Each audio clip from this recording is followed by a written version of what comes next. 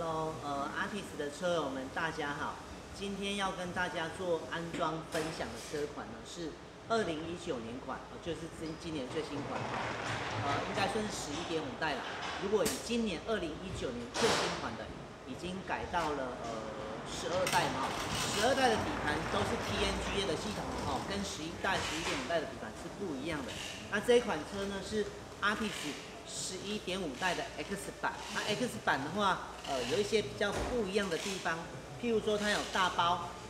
哦，它很漂亮的大包，呃，尾灯的形式也不一样，还有很多内装的氛围呢也都不同，还有最呃特别的地方是，它是配置的十七寸点零米比较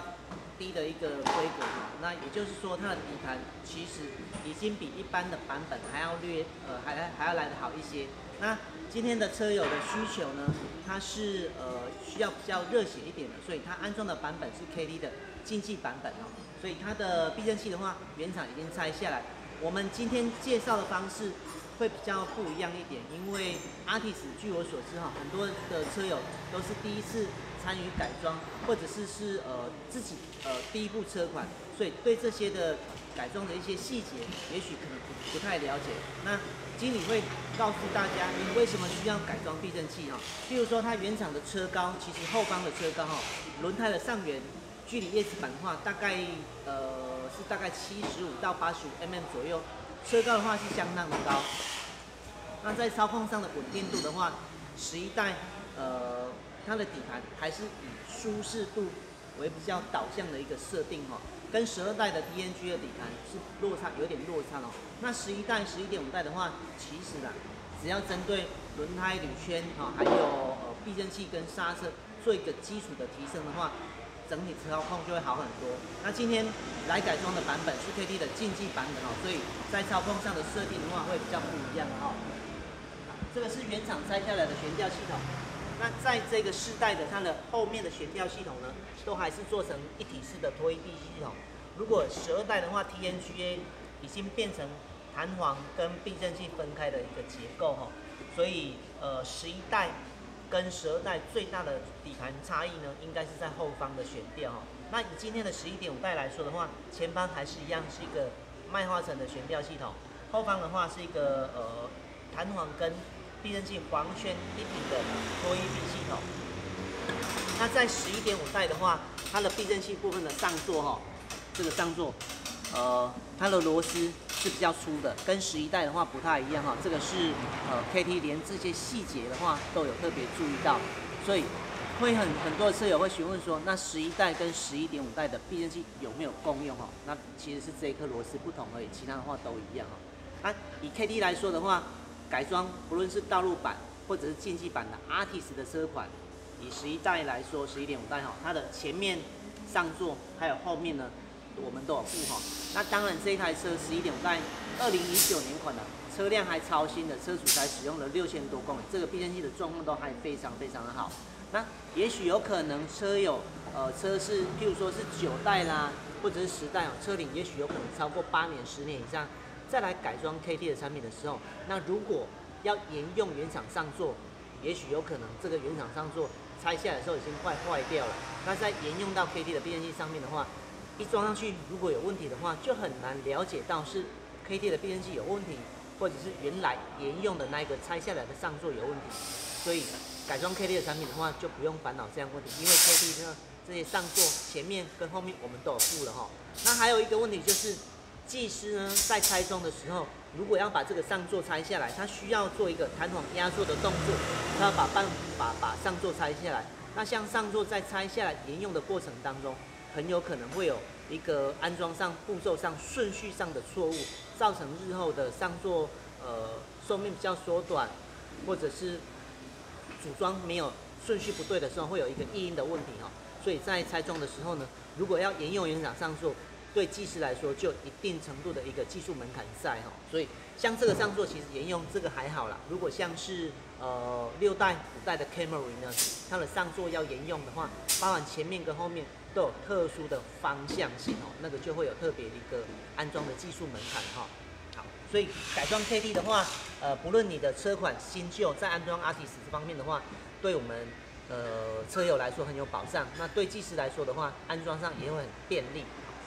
那改装为什么？刚刚再回到刚刚的问题哈，这台车很多的的车友都是第一次的呃开开车的车友，那呃这一部车的话，它基本上它的驾驶起来的感觉呢是比较舒适的。那改装了 KT 之后，除了车高能够降低，KT 的产品软硬也都能调整，能够调整到比较符合车友们的需求一个呃可以克制化的一个设定哈。好，那今天的竞技版本的避震器，我们先来介绍一下后面好了。后方的话，正常的话，如果呃一般道路版本，我们配置的弹簧公斤数才只有五公斤哈，就是弹簧的长度比较长，而且它的公斤数的话比较低，会比较舒适一点点。但今天的这部车呢，我们配置的是竞技的版本，后方的弹簧公斤数是七公斤，它的弹簧长度也比较短一点点。我们先来看一下车体的一个介绍，这是后方的一个避震器哈，上座的话，也就 K T 的话就有副冷哈，它车高的调整。刚刚经理有提到过了哈，它的车高是能调整的。车高的调整是靠脚座下方的一个蓝色这个脚座，我们把脚座往下延伸，它的整体长度变长，车高就变高。那如果把这个整体的长度变短，它的车高的话就变低哈。所以后方跟前面呢都是高低能调整的。这个是后方的部分。那我们来看一下阻尼调整的部分啊，这台车也还蛮便利的。它的阻尼是在后座的后方哈。好，我们先把后座打开。这台车是 X 版的，如果可以看到哈，这个车里面都还有一些饰条呢，能够增加一个一个运动的风格哈。好，那后方的它的这个后座往前倾倒之后，这个饰盖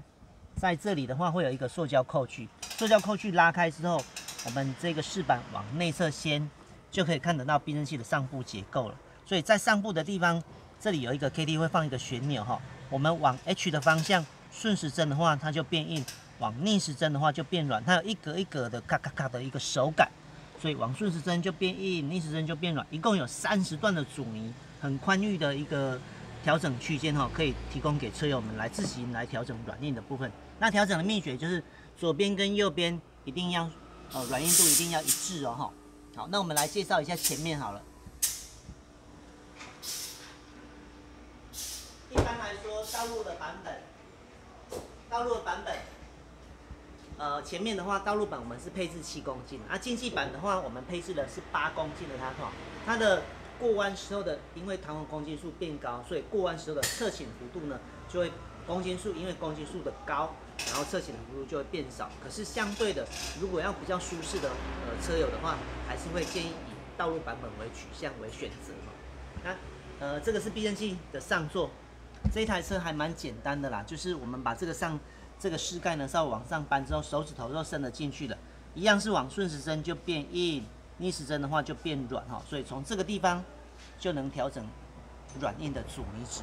所以阿提斯来说，哇，还蛮方便哈。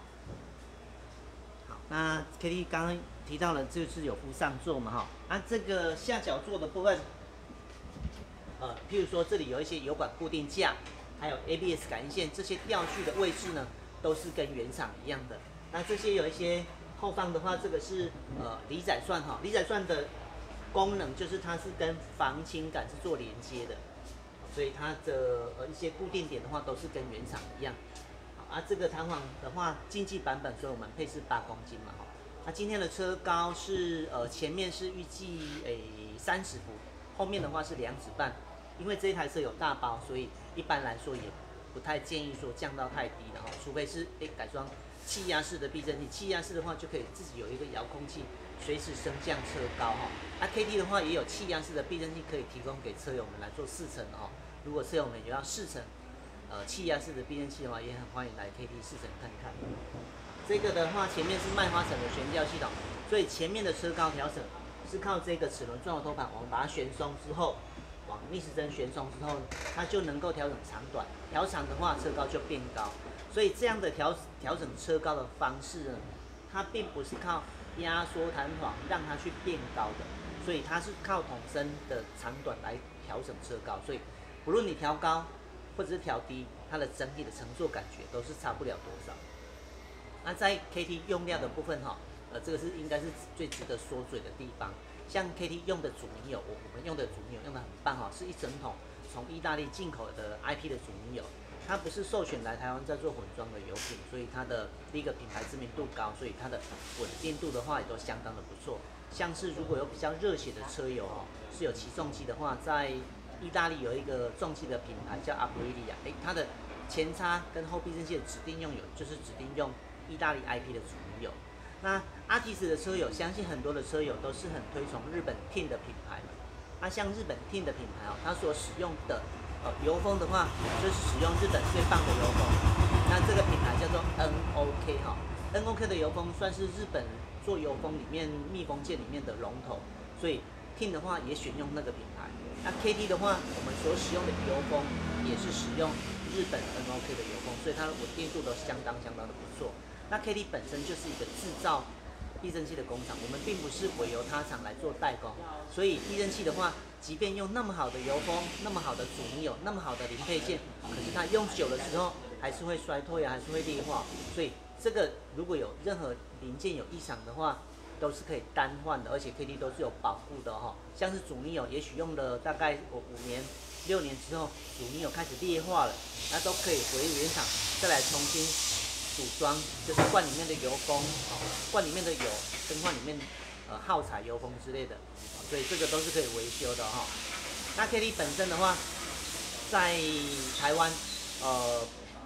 北部、中部还有南部的话，都有试乘车可以提供给车友来试乘哈。如果车友们对选择避震器没有一个概念的话呢？很欢迎先来 K T 试乘看看，那觉得产品有满意之后再来考虑就好了。因为毕竟是一组给到也不少钱哈，万一换了之后不是自己喜欢的产品，那就多多浪费这这笔的费用啊。所以很希望车友们很也很欢迎大家来试乘看看。好，以上是今天 Artis 十一点五代的一个直播分享。好，有问题哈？好，阿丽娜好啊，这个是诶这个张贴纸要跟车友们来介绍一下哈。那这个是呃我们弯道小魔女粉丝团的一个特专属的贴纸，